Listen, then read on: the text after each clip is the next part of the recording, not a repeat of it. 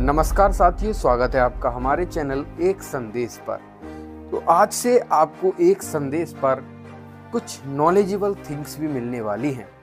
जी हाँ आज से हम आपको नई नई चीज़ों के बारे में बताएँगे, जैसे कि अब हम एक मरुस्थल के बारे में बताएँगे। एक ऐसा मरुस्थल जिस पर बर्फ़ पड़ती है।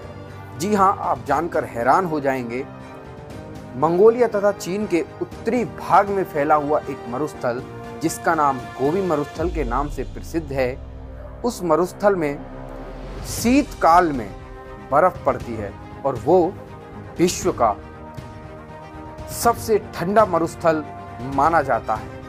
तो कैसी लगी आपको ये नॉलेज ज़रूर बताइएगा। एक संदेश पर, एक संदेश को सब्सक्राइब ज़रूर कीजिएगा। हम आगे ऐसे ही नॉलेज आपको लाते रहेंगे, बताते रहेंगे और सुनाते रहेंगे।